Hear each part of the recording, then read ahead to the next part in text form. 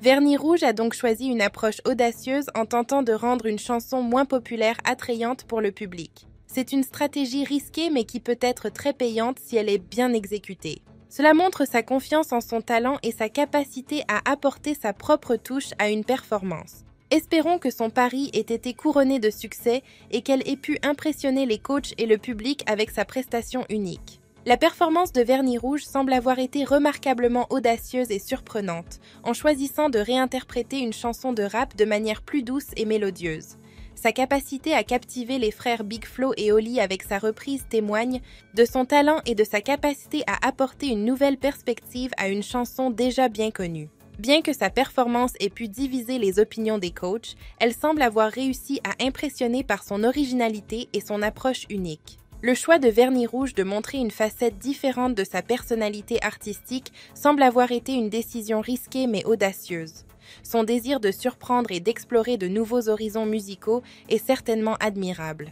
Il est vrai que seule la suite de son parcours dans l'aventure nous permettra de voir si ce choix se révélera payant. Toutefois, sa détermination à continuer à se développer en tant qu'artiste et à explorer différentes facettes de son talent est un trait louable qui pourrait lui ouvrir de nouvelles portes dans son parcours musical. Il semble que le choix de Vernis Rouge ait suscité des réactions très contrastées sur X. Certains expriment leur désapprobation quant aux paroles choisies et à leur diffusion à une heure de grande écoute, qualifiant cela de scandaleux.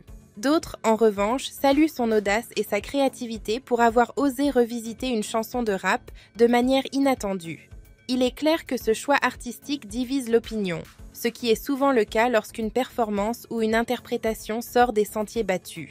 Vernis Rouge semble prendre avec sérénité et satisfaction les réactions contrastées suscitées par sa performance. Elle reconnaît que son choix original était destiné à faire parler et elle se réjouit du débat animé qu'il a suscité.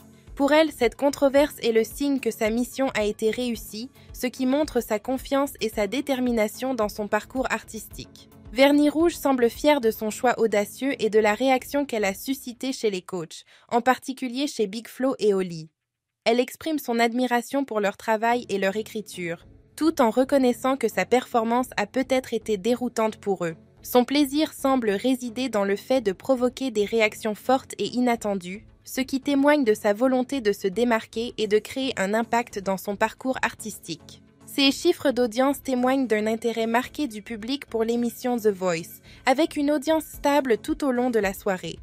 La part de marché sur la cible des 4 ans est plus ainsi, que sur la cible commerciale FRDA 50 reste significative, ce qui montre que le programme continue à attirer un large spectre de téléspectateurs, y compris les plus jeunes.